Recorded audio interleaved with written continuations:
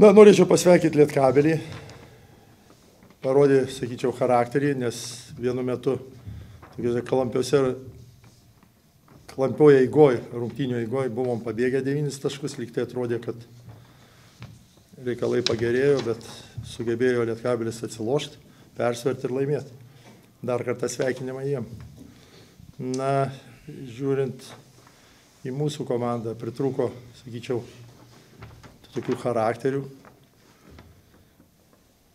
to supratimo, kaip yra svarbu žaisti paskutinės penkias minutės, kada yra lygus rezultatas, Mm, kaip turim kovoti po savo krepšių, neleisdami tų sekančių pakartojimų, iš kurių Lietkabelis pelnė 13 taškų, rungtynės laimėjo 6. Na ir aišku, vėl grįžo tos pačios mūsų bėdos, baudų pataikymai, kaip ir sezono pradžiai. Nežinau, su kuo čia ryšasi, aš su šventėm, bet jeigu iki kalėdų grafikas buvo toks, sakyčiau, gerėjantis, tai dabar mes grįžom kokie penki žingsnius atgal. Tai gal nei nauda išėjo, kad labai ilgai nežaidėt nuo gruodžio 17. Na, čia yra toks kitas klausimas, kada lapkritį žaidėm ar aštuonias rungtynės, nežinau.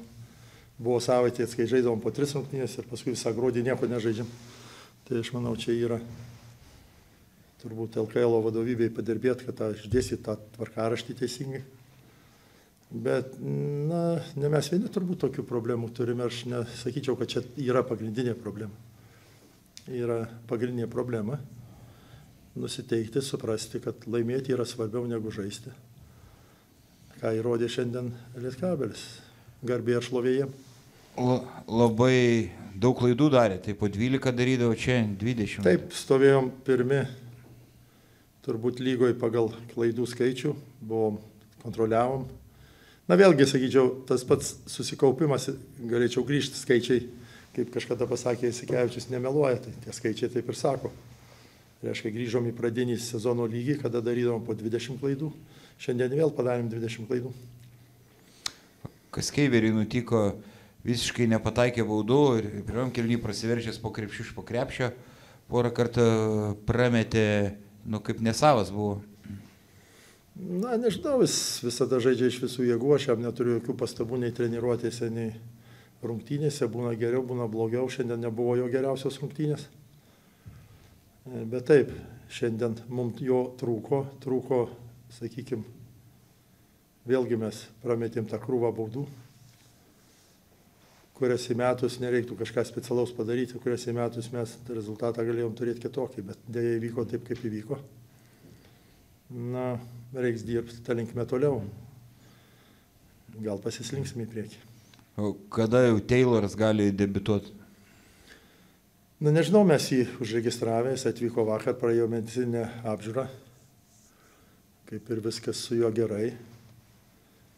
Pažiūrėsim, kaip mes įtrauksim į tą procesą. Nelabai daug turiu informacijos, ką jis veikia šitą, sakykime, gerą pusmetį, nes turbūt po sezono visą vasarą, visas ruduo, gal jis ten, aišku, vizualiai atrodo sportiškai, bet mes nežinom, kas dedasi viduje, kokia jo kondicija.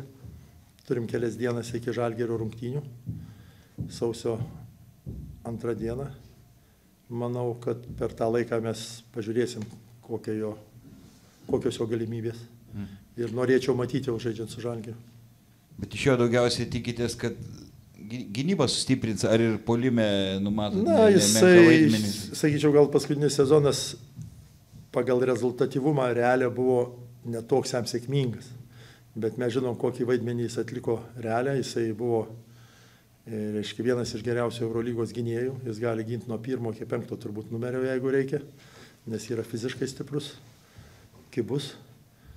Ir, bet aš jį žinau nuo kokių turbūt 15 metų. Žinau, kaip gerą metiką ir aš manau, kad šitas savybės mes atgaivinsim jam, nes realiai ten jis turėjo krūvą partnerių, kurie atliko tą darbą, kad mes tik repšį, o čia aš manau mes jį padarysim universalesnį, duosim daugiau laisvės, kad jis grįžtų į tą krepšinį, kur kažkada žaidė prieš ateidamas į realą. Jeigu nepaslaptys treneriui, o tokį žaidėją buvo labai sunku įkalbėti atvykti į Vulfs, nes aš kiek žinau, jisai prie sezono ir Eurolygos klubų pasiūlymų turėjo, bet Na, kiek mažesnių pinigų net nesutiko važiuoti. Na, kiek girdėjau, tai jis turėjo ir iš Barcelonos pasiūlymą, ir, ir, bet žinot, tas situacijas Ispanijoje, kad iš Barcelonos į Realą, iš Realo į Barceloną ten jau yra sudėtingas perėjimas, arba iš vis neįmanomas nei futbolė, nei, nei krepšinė. Na, šiaip turėjau jisai pasiūlymų Turkijoje, bet aš nežinau, man atrodo, čia daugiau Rimanto Kaukieno dėka, nes jisai švedas, jo kažkokie ryšiai yra su, jie žaidė pažįstami kartu. Na ir tų niuansų nežinau, nes aš esu treneris, yra žmonės, kurie dirba tą užkulisius, kurie kalba su agentais, ką jam sakė, ką jam siūlė, kiek jis kainuoja, neturiu, neturiu idėjos ir ne mano kaip vokiečiai sako, das ist nicht my beer, ne mano alus. Kokienas realiai žaidė, treneris Vilkų žaidė realiai, tai gal dėl to ir atvyko realų žaidėjas buvęs. Nu, gal yra tas ryšys. First of all, congratulations to, to, to my players and, and staff. It was very important game for us. Uh, we are in uh, right now. We were in very tough period. We lost three last game in NKL. We lost four last games, and uh, but players stay together. And today also we feel pressure. We didn't make good decision during three quarters, but our defense finally our defense saved us in the last quarter, and uh, it was very very important win for us. Sveikinu savo komandą ir personalą, mums tai buvo labai svarbios rungtynės, kadangi šiuo metu turėjome pralaimėjimų, trijų pralaimėjimų seriją šalies čempionate. Žaidėjai jautė įtampą ir tris kėlinius su jais sunku tvarkėsi, tačiau ketvirtajame kėlinyje iškovojame svaro pergalę gynybos dėka. Coach, how could you compare this uh, game uh, versus the first game uh, at the beginning of this month? Uh, what was the main changes uh, to to, to three quarter was like sorry uh, three quarter was like similar game again uh, they shoot well uh, we didn't rotate well uh, we tried to some different type of defense I cannot say that was working but uh, at the end uh, we start to use bonus fouls we very important thing that we control rebound second second half and that gave us gave us advantage treneris buvo paprašytas palyginti e, dviejas rungtynės su Vilkais, tai yra pirmas, kuris buvo gruodžio pradžioje ir dabar. Trenerio atsakymas yra toks, kad a, Tris kėlinius iš esmės šios rungtynės nieko nesiskyrė, treneriai išbandė įvairias gynybos sistemas, tačiau jos neveikia. Vis tik ketvirtajame kėlinėje Lietkabelio komanda pradėjo išnaudoti a, bonuso pražangas, e, susitvarkė taip pat su aktuotais kamuolys ir to pasiekai iškovojo pergalę. Uh, Georgi Golomon performed uh, with the best way this season in Betsafe LKL. Uh, how could you comment his performance? Is he improving I, I his mean, game in LKL? I know it's uh, no. I, I'm not the guy who will comment uh, about my players like like public. You know, uh, of course, great game uh, from his side, uh, but I know that he's a good player. I expect that in like in, uh, continuation, not just today and again like. But uh, his attitude was today good, not just numbers. Numbers can be like always. One day you can make, second day you cannot make, but his attitude when he stepped on the court was right attitude, what we need. Golomanas sužaidė geriausias rungtynės sezone ir treneris buvo prašytas pakomentuoti jo pasirodymą šiose rungtynėse. Treneris atsakė, kad jis nemėgsta komentuoti savo komandos žaidėjų, tačiau Golomanas uždė tikrai neblogas rungtynės ir tenerį labiausiai džiugino, džiugino jo nusiteikimas prieš šias rungtynės, nes statistika kartais gali būti gera, gali būti bloga, tačiau šiandieną būtent tas nusiteikimas treneriui labiausiai paliko įspūdį.